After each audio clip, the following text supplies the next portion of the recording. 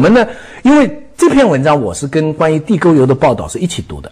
好，所以这个两边呢，两篇文章给我带来的冲击啊，冰火交织，这个冲击非常大。你说这个理想跟现实，一方面我们将来会成为这么一个国家，这么美好。这咱身为中国人来到这个世界上转一圈，要是真能赶上这么一个时代，我们从，呃，哎，我们从文革那种局面到今天走到这样的地步，假如真的三十年后，即便他说的只到一半吧，你就直到唱好日子哎，直到这样，那我们已经觉得非常荣幸了。但同时，现实呢是地沟油的那个，那是现实，我们也刚刚吃进去，对不对？所以这个我们得思考。你要仔细读他的文章呢，他其实不是清华，他是中国威胁论。哦，他的核心的讲法就是：你美国的政治家，你还在这里做梦吧？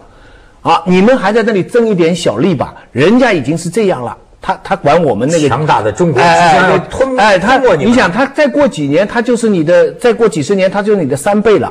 啊，然后你看，他已经要把澳大利亚都都都很多东西都买下去了，所以他的动机其实并不是为我好回过头来，我再接上你的话啊，咱们来说一说这个美国威胁论和中国的风风险。你看他看着你觉得很好，我看乐观的东西都看得很好，这种数字看得很多。但是你回过头来想，你想中国现在面临的问题，沿海中小企业倒闭了吧？嗯，地沟油到处横行吧？嗯，对不对？然后你说这个呃企业转型，然后国企中冶恒通一个企业就亏了五十多亿吧？对不对？然后利比亚中国水电最近要上市，它在利比亚又亏了几十亿吧？哦，所以你看起来那得让卡全飞啊，对呀、他谁让他盯不住？不听咱们张张兆忠张兆忠教授的话，盯不住，所以中国又亏了几十亿，有可能现在还是没有特虚亏。聘张昭忠对 对，当他的智囊。哎，所以现在这个世界形势啊，咱真是不把握啊。哎，四海翻腾云水怒，五洲激荡风雷激。风雷激是吧？我怎么现在看他们那个报纸讲啊，什么参考消息啊，确实讲说欧洲现在这个金融危机啊是不好，是真的，非常而且呢。我这咱们都不意识到，当年就是雷曼兄弟倒闭这回金融危机，全世界人民都知道哈。这次他们说呀，一点不比那个轻，嗯，这个好像上次是嘁哩呱嚓，嗯，这次说是比较慢的，呃，但是探底，说是好像是很非常严重。他被被这是这是他专家了，就怎么会被希腊这个他是这样意大利子的，就是拖的？他这一次他本来呢，大家货币都很多，日子都过得都很多，都很好，然后你去借债也借得到，你你的原来的债务再大也不是问题。反正你可以借债借得到，大家日子都很好过，对不对？老百姓照样消费，就不是什么大问题了。这时候你发觉你再去借钱的时候，你本来一大堆债务，你的债务没有减少，而且利息还在增加，因为它货币在紧缩，相当于你还的钱要多了。但是呢，你这时候去借债借不到了。你到处去发行债券，你发不出去了，然后你发觉每年的赤字那么大，然后你要过紧日子吧？你要过紧日子的时候，然后这时候老百姓到处到处抗议，你发觉失业率，他们年轻人的失业率高达百分之二十以上，有的高达百分之三十，年轻人，所以大家都没办法了。这个在是不是在某种程度上也是一个理想社会要付出的代价？因为相对来说，欧洲的社会状态啊，这个是它缩假是非常高非常理想、高福利、嗯，现代化、超前付出的代价啊。超前付出的代价就是他说假话付出的代价。说我认为什么假话是。你想啊，像希腊这些国家，他原来他按他的条件，他不应该加入欧元区的，他不达标。我跟你说，就不及格。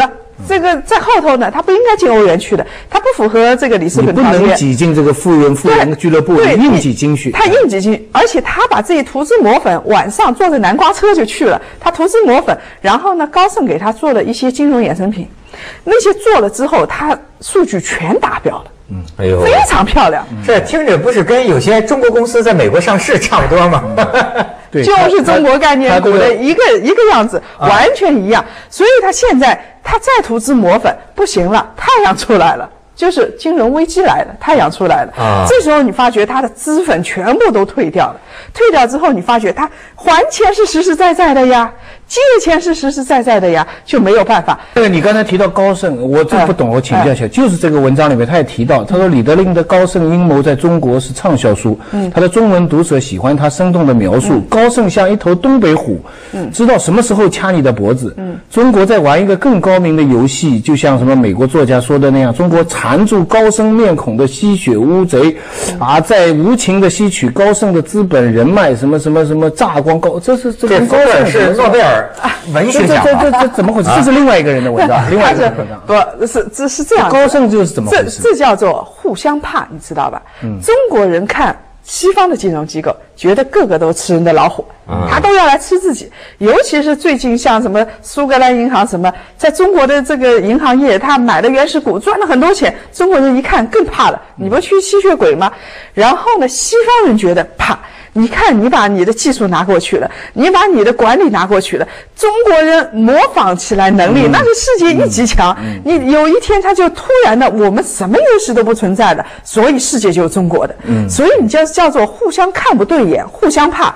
然后中国人还有一种心态，就是现在有一种心态是。就全是阴谋，就觉得西方人做什么都是阴谋。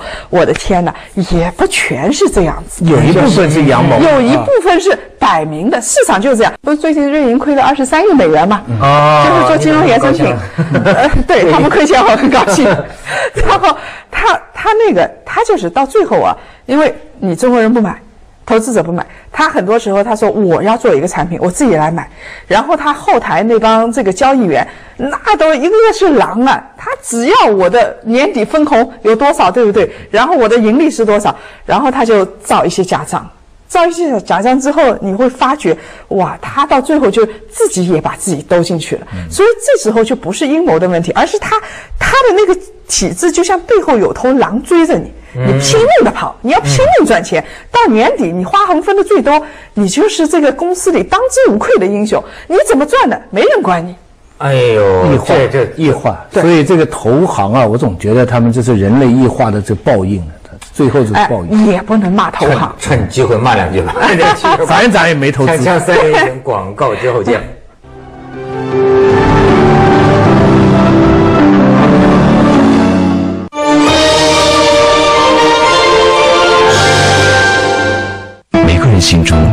只候鸟，起飞，去向自己的海和海边的泳池院树。全球候鸟度假地十月发售，中国威海。创变是信念，是里程碑，是向前，是楼兰。Murano 楼兰，汉式嘉陵，东风日产楼兰。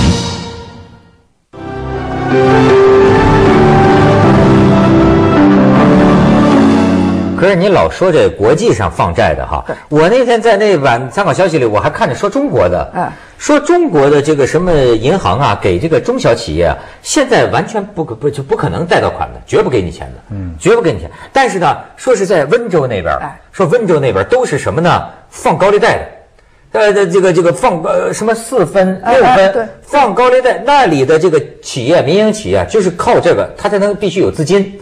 说我不知道是不是我看错了啊？说甚至银行给这些个高利贷放贷，你没看错，是真的。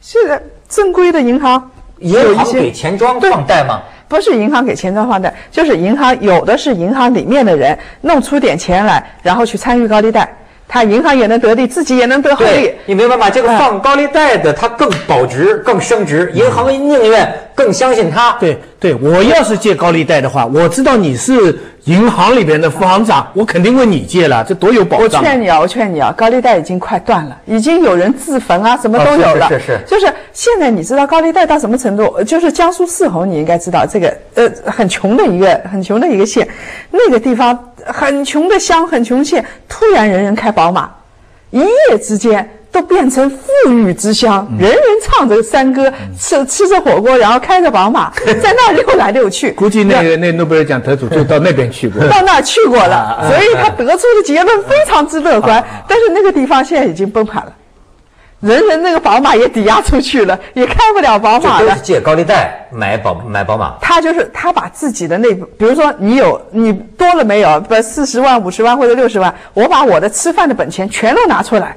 然后去呃参与这个链条。你的上家跟你说，我给你几分利，或者甚至我给你一毛的利，你放不放？我就把是那个老本都拿出来，然后去放。放了之后，你就发觉哇，太能赚钱了。对然后你就你赚了五十万之后，你就去买个宝马，或者你去贷款去买个宝马，哦就过上了幸福的生活呀。哎，他们老说这个资金链就一断就完蛋，怎么会断呢？